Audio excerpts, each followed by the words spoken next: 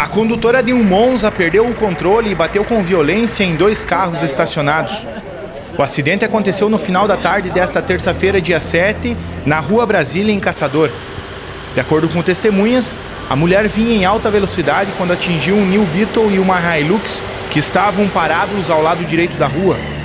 No carro, além da mulher, estavam mais quatro crianças, incluindo um bebê os bombeiros voluntários foram acionados e conduziram a mulher com ferimentos graves no rosto e na boca ao maicé. O bebê também foi levado para o hospital com ferimentos.